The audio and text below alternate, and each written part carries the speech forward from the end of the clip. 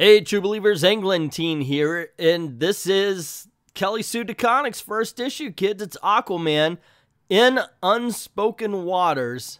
Destiny awaits, and it says part one. I like the way it says Aquaman, part one of.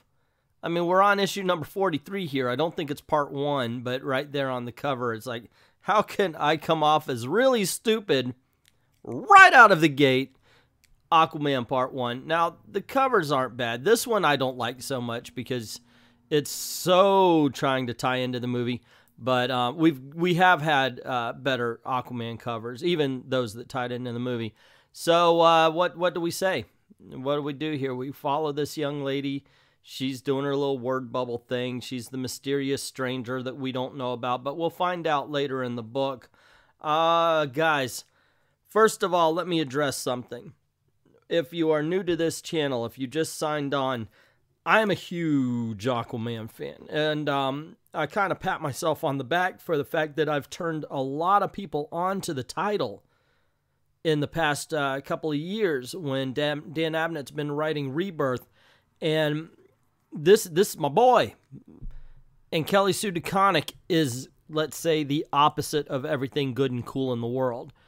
And so hearing that she's coming onto the book was not exactly my favorite thing.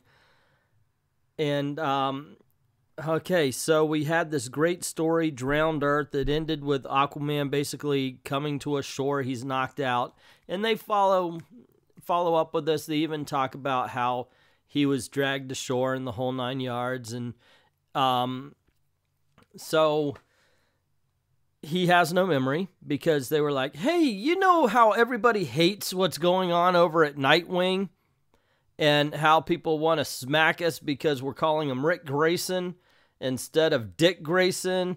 And he doesn't want to be Nightwing because that's what people came in to see a Nightwing book that doesn't have Nightwing in it. Let's do that with Aquaman. Let's do the exact same freaking thing. He's just missing like an Aquaman sign shaved into his head and this would be the Dick Grayson story right out of the gate. And in this case, um, his name's Andy to most of the people, and Arusso to uh, her name's Callie, the the the young lady in red. She's like, I pulled you up, I get to name you, and your name is Arusso.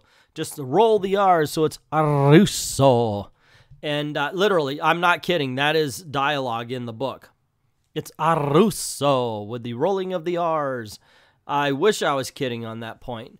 Um, so, and basically, the uh, sea is angry, they say, because um, it, it's way too salty. The fish that they're fishing for ends up dead.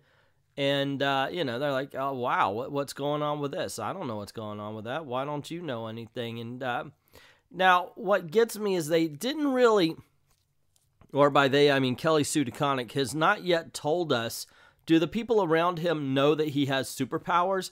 Because you would think if he stayed there at any point of time, um, here here's the thing. If you have super strength, don't you need to learn how to grab small things? And he's dealing with a frail old man, so at one point he could easily accidentally hurt somebody. Just saying. You would think that it would come up the fact that he's got superpowers and such like that. Uh, even though he's doesn't remember who he is, you would think he would still have those, but it's not really addressed here. And I, I, that that was a glaring omission to me because you can accidentally hurt somebody. How about he goes to take a, a swim in the uh, ocean or something and then finds himself a mile down uh, offshore in an instant because he's Aquaman, you know, kind of like what would happen in the Flash in the Flash TV show where he started running and ended up ended up on the coast, you know. And that kind of thing would come up when you're dealing with an, uh, a person with superpowers and amnesia. Never did. Uh, here's the thing, gang. I wish this book was worse.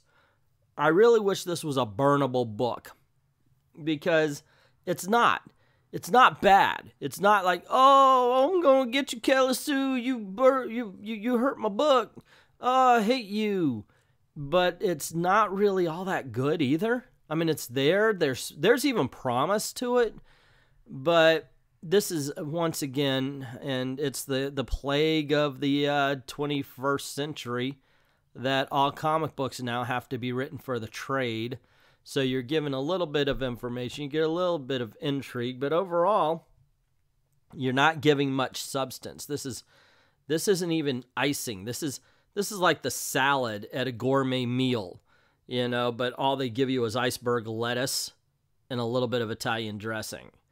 It's edible and you can even enjoy it, but it is in no way shape a meal and that's that's basically how I feel about this whole story. It could have been so much better, but it could have been so much worse. As it is, gang, I'm just going to have to say, yeah, it is what it is. Um, like I wish I could tear it apart for you. I wish I could say, "Grr!" Oh my gosh! And I I could see that. I I can absolutely tell you that some people are going to do that because it gets clicks, it gets views, the anger sells. There's just nothing to be angry about. There's nothing to even feel about this. This is the NPC. This is the NPC of comic books, and that alone should make me pissed off. It, really does actually because Aquaman shouldn't be PC, NPC. Aquaman, for all of this time, has been an exciting story.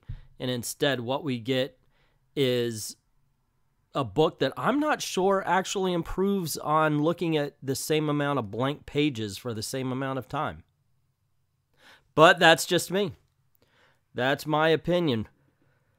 What is yours? What do you think about all of this? Uh, did you like it? Did you hate it? Did you read it? let me know in the comments below. Also, if you like this video, you want to see more, uh, you know, click like, share, get word out about the channel is always important. And don't forget to hit subscribe. But more importantly, hit notification, ring that bell, because YouTube doesn't give a holy rat's tail about the subscribers. They just care about that notification bell. And even then, sometimes they ignore it. Also, if you don't mind helping out the channel, go on over to Patreon. Uh, drop a dollar in the till. Now, I am going to be getting a Ko-Fi account in the next couple of days. I'll keep you uh, updated on that if you would prefer to do that. I certainly appreciate everybody who's already done that, and to everyone, all of the true believers, thank you very, very much for watching.